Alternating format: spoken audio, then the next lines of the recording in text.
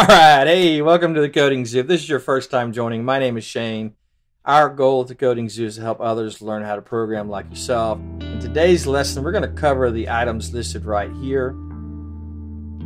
If you are not familiar with those items, hey, no worries, stick around. We're going to jump right in.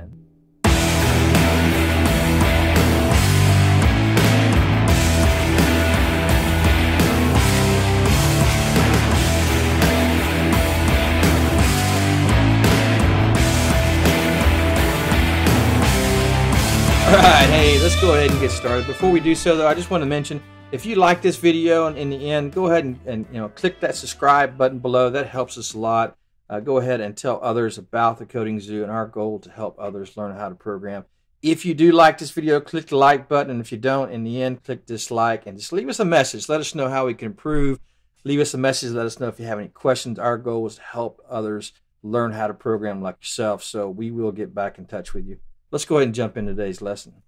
Okay, hey, so this lesson we're going to cover uh, bounded types, parameterized types, generics. So in the previous lesson, we talked about what a generic is in Java. We also covered how to create your own generic. We gave you an example by creating a grade book, and that grade book was a parameterized type that took in different types of grades. Now, the two different types of grades we used for an example were test grades and homework grades. So we created these objects called homework grade, and we created an object called test grade, right? So we wanted to have two different types of grade books, and we wanted to put homework grades in one and test grades in the other, and we didn't want to mix those two up. So that was our example. Now, that may not be a great example, but hopefully it makes sense. I wanted to create a grade book that could store a particular type, but only that type that's specified in the code as you're coding it. Um, but it can cover more than just one type. So I wanted to, uh, depending upon how you created it. So if we go to this create method here, we created a grade book that, that took in only test grades. And we created a grade book that took in only homework grades. So you can add homework grades to the homework grade book and you can add test grades to the test grade book.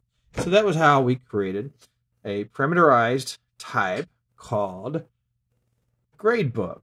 Now, there's one flaw with the way this gradebook is created. I've got test grades and I've got homework grades. Well, what what hap- what keeps me from specifying something else? I could say grade book, and for the parameter, I don't have to specify homework grade or test grade. I could specify string. Will that work? Let's see.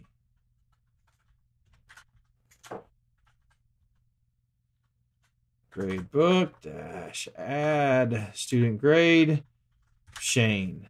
So look at there. So now while grade book is a ge generic, it's, a parameterized type. Uh, it was it was created to where you were you would keep grades and you would only keep certain types of grades and you would keep those types of grades in separate grade books, right?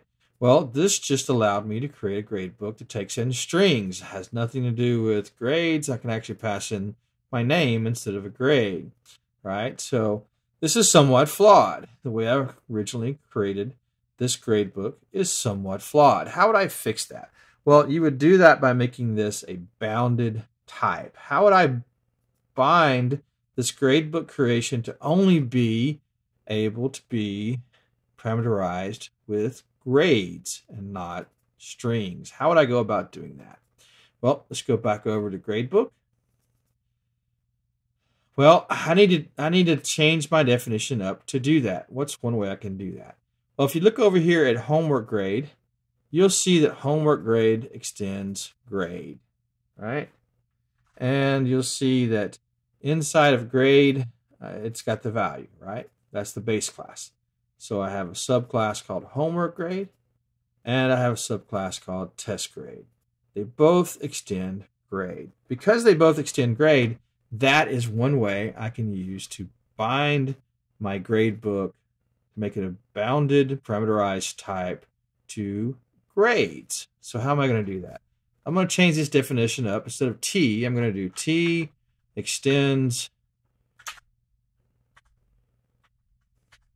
grade. So my grade book takes in anything that extends grade. So there we go. That is called a bounded type. I bound this grade book to only take in objects that can only have parameters that are objects that extend grade. And I still kept the same constraints, right? So if I go back over here, you'll see now that this won't compile. String is not allowed anymore. I just bound the gradebook to where that's not allowed.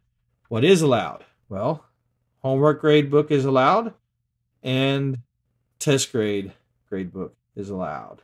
Why? Because they both extend grade. So this is called a bounded parameterized type. I've basically created a gradebook, and that gradebook can only be parameterized with objects that extend grade.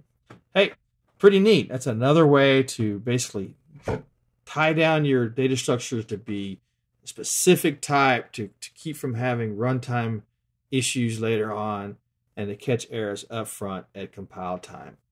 That's one way of doing it. All right, so hey, that's it for today. I hope that makes a lot of sense. If you have any questions, leave us a message below. If you haven't subscribed yet, go ahead and click subscribe below and click that bell icon. That helps us out a lot. We really appreciate it. Let others know. If you enjoyed this video let others know about our youtube channel. Send them our way. We really appreciate it. If you like the video also click like. If you dislike click dislike too. Leave us a message. Let us know how we can improve. Leave us a message. Let us know if you have any questions. We'll definitely get back to you so that's it for today. I just want to say thank you and i hope you have a great week and we'll see you next time. Bye